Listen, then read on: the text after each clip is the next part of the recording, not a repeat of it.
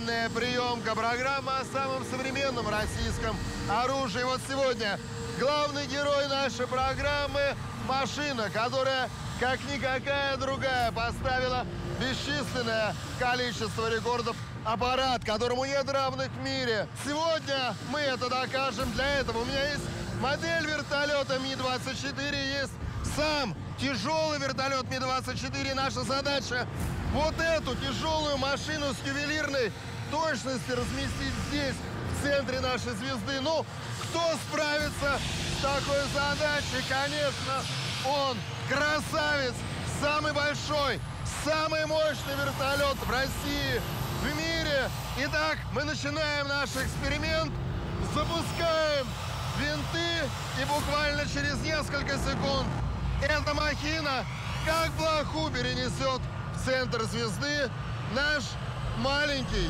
Ми-24. When pilots describe the Mi 26, they mostly use the word unique. And they are right. There is no helicopter in the world like this one. The Mi 26 has been in service for 40 years, and no one has ever managed to create a heavier mass produced helicopter. Moreover, no other mass produced helicopter has ever beaten its record for cargo and passenger capacity. That said, the Mi 26 is still a fast and agile aircraft. Who would have thought that this behemoth could do such tricks in the sky? Its NATO reporting name is Halo. Rest assured, no one will manage to outshine it in the foreseeable future. Mi 26, a flight to the star. First of all, Mi 26 is not just a big helicopter, it's very big. No other helicopter in the world has such a cargo compartment 39 by 10 feet. It is probably bigger than your living room. To clarify, it can fit a whole Ural truck. If we refurnish Mi 26 into a hospital, this flying ambulance will then have enough space for 60 stretchers. And even more for the medics. In troop carrying mode, it can fit 82 soldiers equipped with armored vests, rifles, and parachutes. That's an entire company, and each one of them will have a seat. A folding one, but nevertheless. So, 82 people take their seats, and we can see that this isn't the limit. Moreover, our behemoth even has an entry in the Guinness World Book of Records. On November 27, 1996, 224 people crammed into a Mi 26, plus the crew. That was the most people that ever jumped off a single aircraft. However, we need to clarify. The Mi 26 isn't the largest helicopter in history. The V 12, aka Mi 12, was almost twice as big. A real monster, with a max takeoff weight of 231,000 pounds. In 1969, this beast lifted 97,000 pounds to a height of 7,400 feet. This is the world capacity record, which remains unbroken. But there were only two of these machines built, and the project ground to a halt. Meanwhile, the Mi 26 went into mass production and started setting one record after another, and not just in Russia, but all over the world.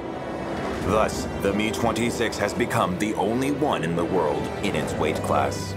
Now it's time for us to challenge this champion. Today, Combat Approved will test its abilities like no one has ever before.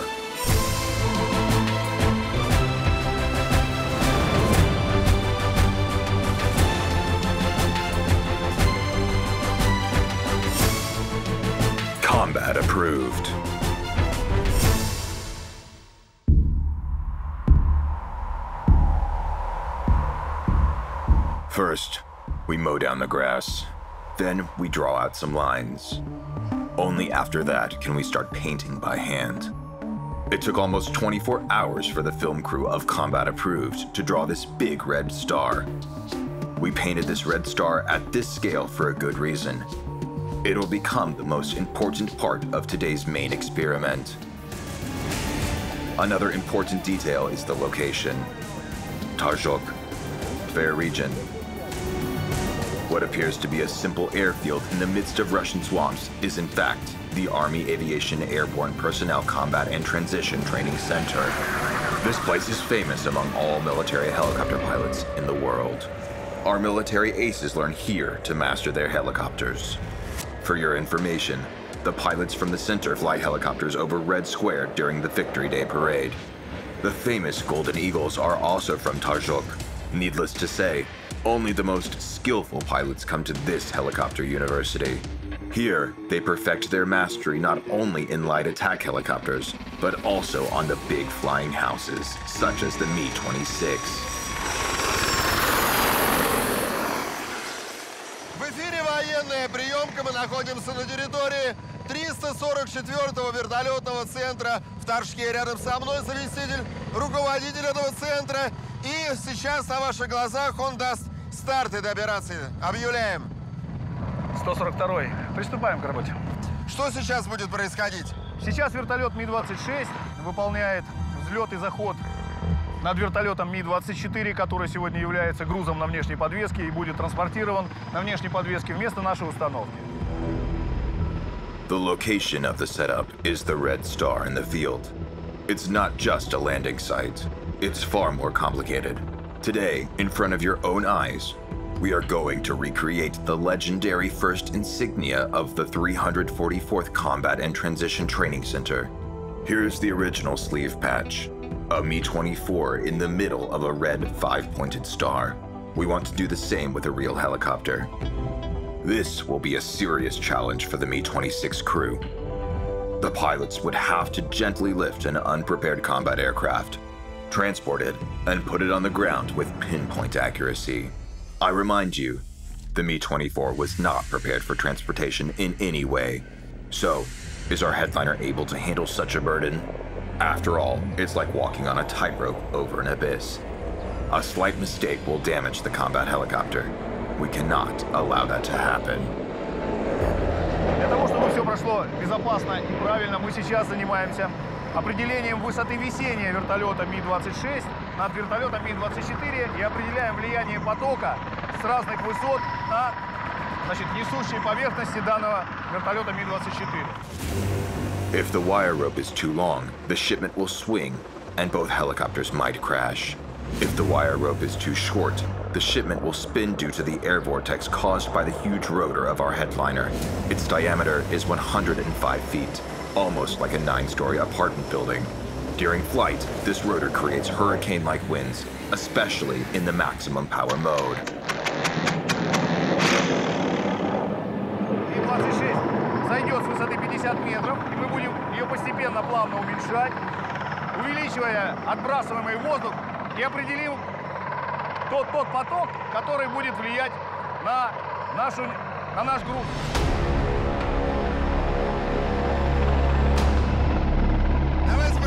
такую вещь. Сколько весит вертолет? Данный вертолет для перевозки сейчас весит э, 8,5 тонн. Вот если бы просто здесь был стальной куб размером 8,5 тонн, вообще никаких проблем. Никаких проблем, потому что максимальный взлетный вес вертолета Ми-26 56 тонн, а перевозимый груз на внешней подвеске 20 тонн. The question arises how can the Mi 26 lift such a huge amount in the first place? After all, only transport planes can carry such loads. На вертолете установлены два турбовальных двигателя D-136, которые также являются э, самыми мощными э, в классе турбовальных двигателей, устанавливаемых на вертолетах. Данный двигатель был создан на основе э, самолетного двигателя D-36, устанавливаемого на самолетах Як-42 и Ан-72. The Mi 26 has up to two of these engines, each with 11,400 horsepower. That is also a record. As a matter of fact, the design of the Mi 26 has a lot of fantastic and record breaking elements. For instance, there's the reducing gearbox, a power plant designed to transfer torque from the engine to the rotor. Перед нами главный редуктор вертолета Ми-26 ВР-26. Это самый мощный трансмиссионный агрегат, э, который когда-либо устанавливался на воздушных судах. Высота его 3 метра, общий вес 3,5 тонны, 200 литров масла, и передаваемая мощность от двух турбовальных двигателей свыше 22 тысяч лошадиных сил. It's no wonder that this helicopter can easily lift 44,000 pounds. When I say easily, I really mean it. We have already transported a helicopter on a helicopter once before.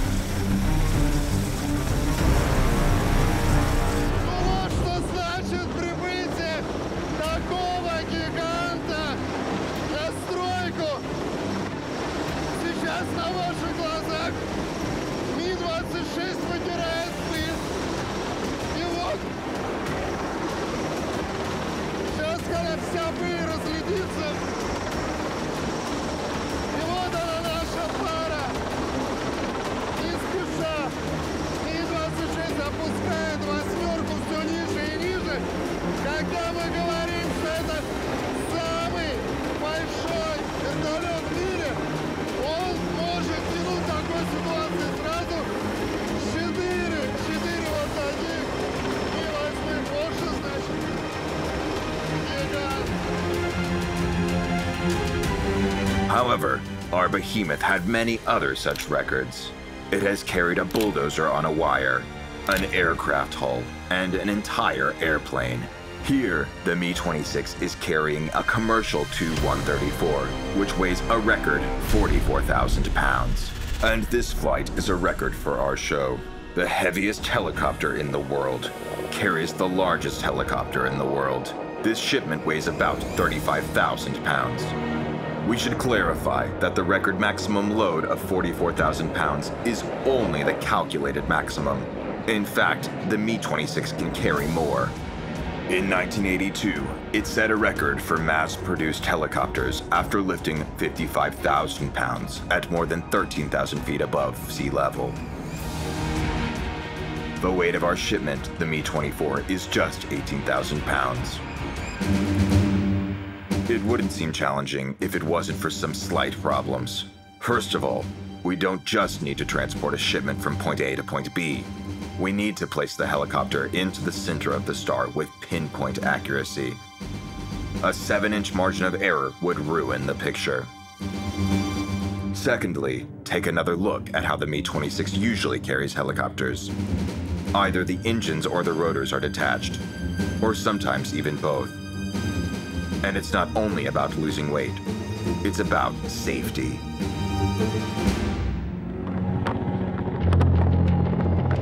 Meanwhile, our cargo was not prepared at all. The engines and rotor are installed. You could fly it right away. The rotor is another problem.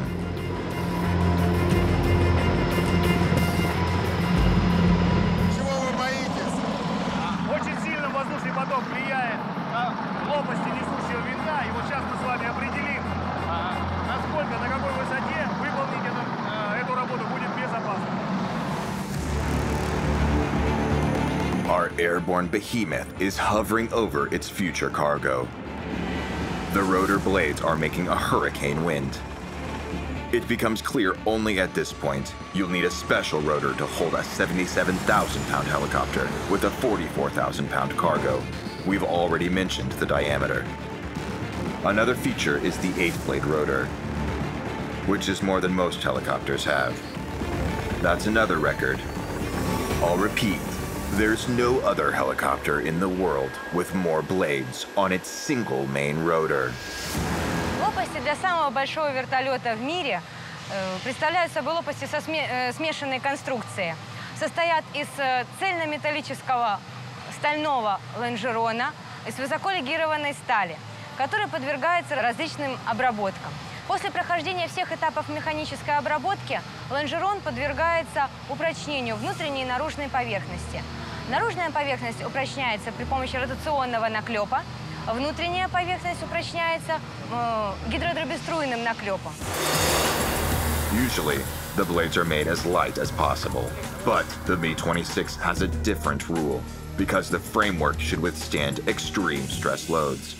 Длина лопасти составляет 14,5 метров. Э, Масса лопасти около 400 килограмм, что обеспечивает подъемную силу самого грузоподъемного и большого вертолета в мире.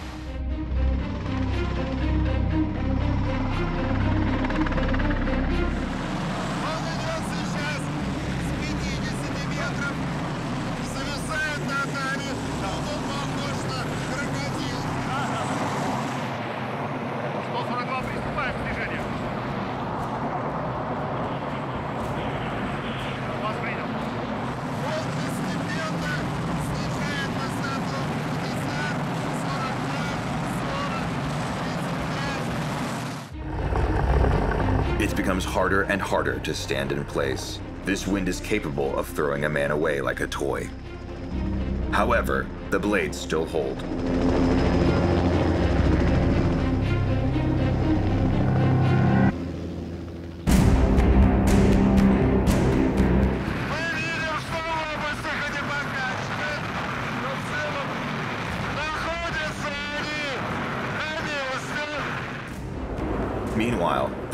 26 is still descending.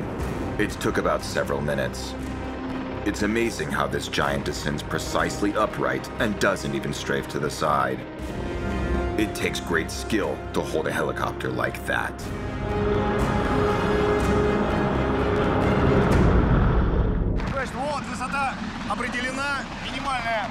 Длина троса составит 20 метров. А почему не 15, если мы пятнашку нормально А отработали? мы э, берем 5 метров еще на запас на вертлюг, для того, чтобы это все выполнить безопасно. Поэтому с высоты 20 метров данный э, вертолет в воздухе будет вести себя э, правильно, аккуратно, без вращений э, сильных. To tell the truth, the pilots conducting today's operation have already done similar tasks several times. They say that the hardest case in their experience was to evacuate a Mi 8, which crashed in the highlands near Mount Elbrus. A military Mi 8 AMTSH crashed on the side of Mount Elbrus in summer 2010. It fell near a path that the alpinists used to ascend in the end, the decision was to move the crashed helicopter away from the mountain But no one has ever conducted such operations at such altitudes. The air on Mount Elbrus is so thin that it is hard to breathe. Never mind keep a helicopter in the air. Вертолет лежал на высоте 4820. Соответственно, для полета в этом районе надо было держать высоту 5 километров, 5100 метров. Vladimir Khorev is a test pilot out of the Rostvertol plant. He was the commander of the crew that flew the rescue helicopter. Today, he's sharing all the details. But back then, the operation was classified. Это все на грани фола. Поэтому не дай бог какой-то малейший прос- просчет и положить, положить еще одну машину там на Эльбрусе. Никому это не надо.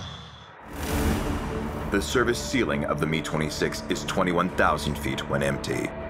Back on Elbrus, there was cargo and thin mountain air, all topped with gusting and volatile winds. In such conditions, the Mi 8 seemed to be an unliftable load. Для того, чтобы эвакуир- эваку- эвакуировать э, Ми-8, э, который весит пустой в районе 7-8 тонн, именно такой груз вертолет на этой высоте не может поднять. Поэтому было принято решение разобрать вертолет, демонтировать двигатели, демонтировать редуктор вот, и уже частями э, вывозить его оттуда. Ну, скажем так, между нами спина была мокрая, вот, когда именно вот, вот, вот в этот период работы. Вот, потому, потому что при- при- прихо- приходилось парировать э, все те э, накоренения, тангажи, те, которые воздействовали на вертолет. Плюс еще, конечно, то, что горизонт у меня проектировался в виде склона горы Эльбрус, вот, он свою корректуру внос- вносил э, в, в голову. However, You should understand that a single wrong move of the controller can cost the lives of the entire crew. If the crew of the Mi 8 had hit the rocks, the hull would have become an anchor for the airborne giant. This would have led to a catastrophic result. Мы смогли приподнять груз на 2-3 метра. Вот. Я принял решение уходить по склону на ледник. Вот. Именно таким образом э, вынес груз э, с той сложной зоны, где мы находились. Вот. И потом уже э, скорость увеличилась, энерговооруженность вертолета тоже увеличилась. И мы спокойно доставили этот фюзеляж на высоту уже 2500. As it turned out later, it only took seven minutes to do that.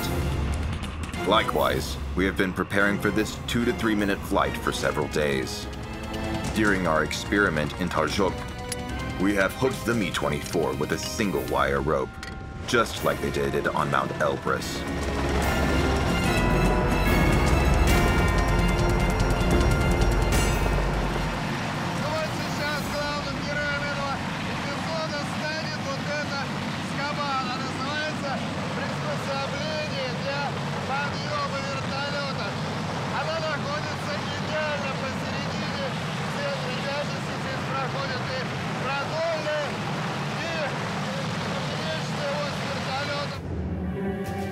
this very clamp to lift up the helicopter, it would seem that everything is ready to start lifting.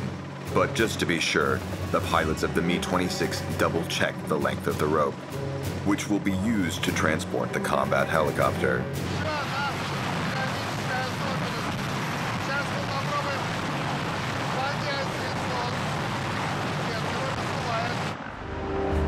I came up with an idea to put up this umbrella to show the strength of the airflow towards the ground.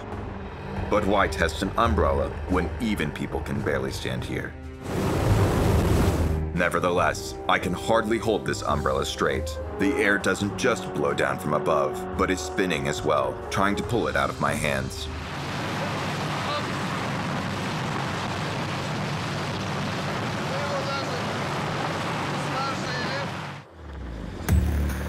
Another of our headliner's records is the ability to cover long distances on one tank.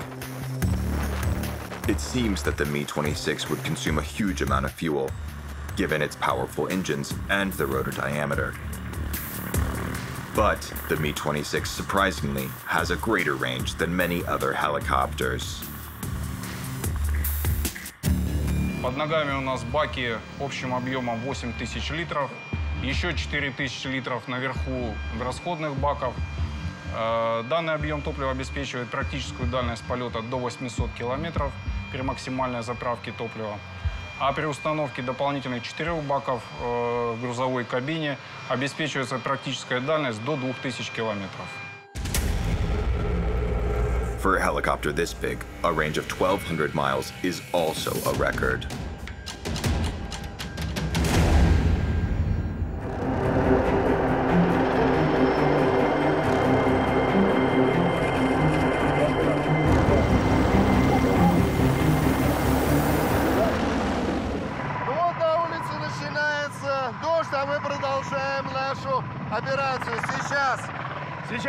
Вертолет Ми-26 выполняет подлет грузу. Обратите внимание, выпускает внешнюю подвеску. Внешнюю подвеску. вот маленький отсюда, он кажется, трос. Да, да, да, абсолютно верно. Сейчас пойдет, подойдет на рабочее свое место. Наземные операторы готовы подсоединить значит, внешнюю подвеску к системе подцепки груза вертолета. Сейчас мы с вами это все увидим.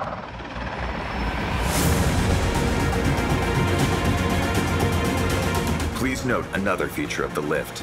The Mi-26 isn't hovering exactly over the helicopter, but a little to the side.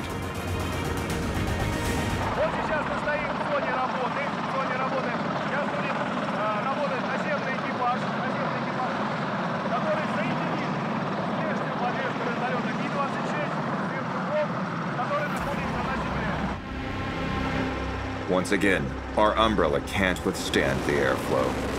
It's really hard to hold it, as though we are inside a hurricane. The wind speed feels like it's 60 miles per hour. At this moment, you can relate to people who have survived a storm. However, it's not that scary inside the gale under the helicopter.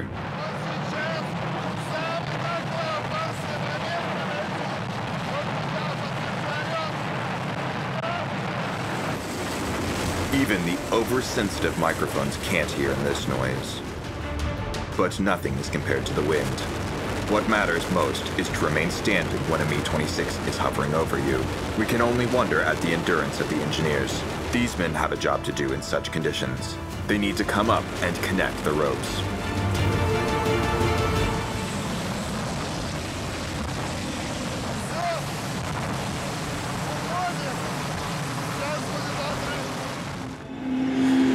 The engineers don't just have to hook up the rope, but also make sure that it won't tangle around the blades of the Mi-24.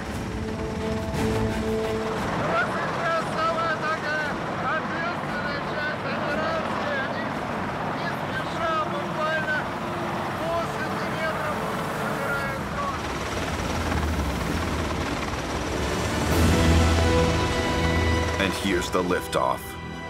Look how easily those 19,000 pounds of armor and metal go up in the air. But the pilots won't take chances. If they pull the cargo too fast, it'll start to swing and become hard to control. The danger is that both helicopters can crash.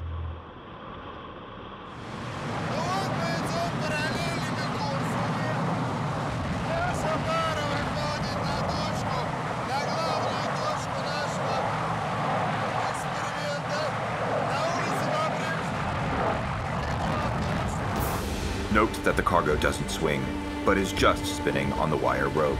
This happens because of the airflow created by the blades of the Mi-26, so it can't be countered. Our heroes here are now flying at 164 feet.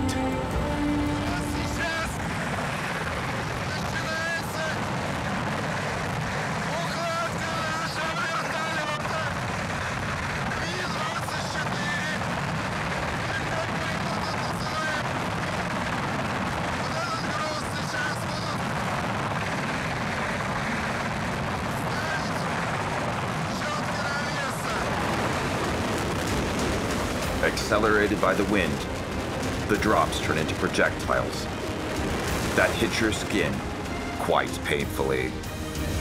At this point, the Mi-26 generates the most power. It always does during landing and takeoff. Here, our cargo gently touches the ground.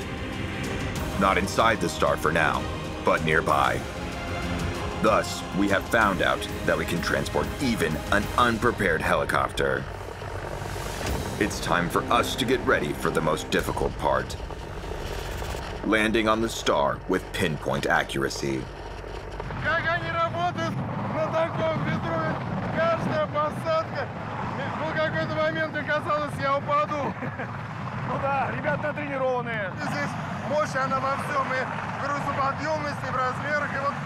этот ветер ураганный, который создает, это тоже, наверное, да. своего рода рекорд. Это рекорд. 26 ми. Да, да. Speaking of sizes, our giant with a rotor is often called a flying cow because of its round shape. But if you think that this giant is clumsy due to its mass and size, think again. This footage was also filmed in Torzhok, that's how the pilots prepared for the air show during the Victory Day parade at Red Square on the 9th of May. Here's a zoom climb with a hook turn performed by the Mi-26. As you can see, it does it at quite a high speed. Just like a night hunter or an alligator would. And here, it's flying forwards, except on its side. Does it look like a cow? For the record, it is much more difficult to control than a light helicopter. Imagine the skill a pilot should have to control this giant and make it dance on the spot.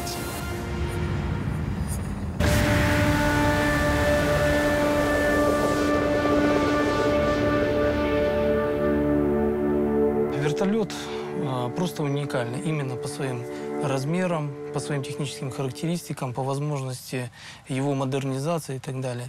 А, Как бы он не казался, насколько вот он массивный, огромный, да, но в то же время вертолет очень маневренный. They say that it's not the limit, as they are already modernizing the combat machines. They install new avionics that will make controlling them even easier. Moreover, the engineers have already developed a new generation of the Mi 26. Сейчас э, на данный момент э, проводилась макетная комиссия и э, будет проводиться для Министерства обороны выпуск ну, нового вертолета на базе Ми-26, Ми-26Т2В. Э, У него будет также четыре члена экипажа, несколько МФИ, будет э, лазерные инерциальные, системы стоять. А, Ну, то есть более технически продвинутый будет вертолет. То есть этот вертолет изначально заложен э, такой огромный потенциал, что, я думаю, еще ближайшие там лет 30 э, конкурентов просто в принципе быть не может.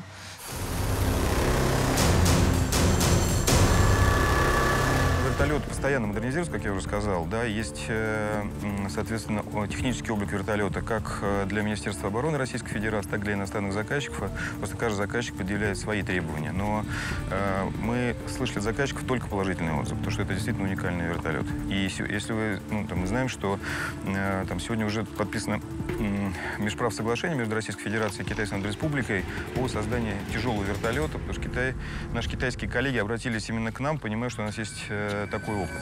The experience is truly unique. Mi 26s were used during the Chernobyl accident. In addition, it helps fighting fires every year. Not just in Russia. It can carry 4,000 gallons of water in the Hella bucket. It was also involved in construction of many sites for the Olympics in Sochi. However, the Mi 26 has the most applications in the army. For example, here's footage from the town of Tiksi in Yakutia. There are several Mi 26s stationed there at this moment. They deliver cargo to the Arctic base on Kotelny Island. This means that the Mi 26, on top of everything else, is able to fly at extremely low temperatures. Speaking of cargo, our experiment in Torzhok is not yet over.